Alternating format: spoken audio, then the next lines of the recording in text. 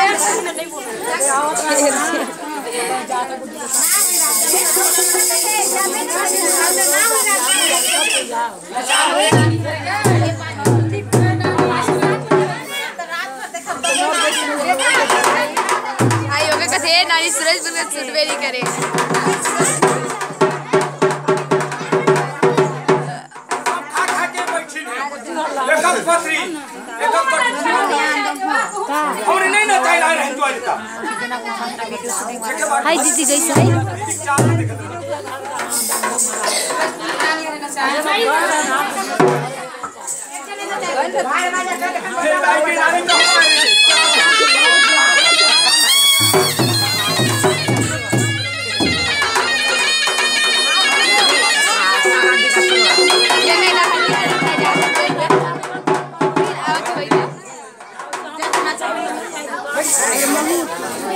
से H T R बने तो बाद में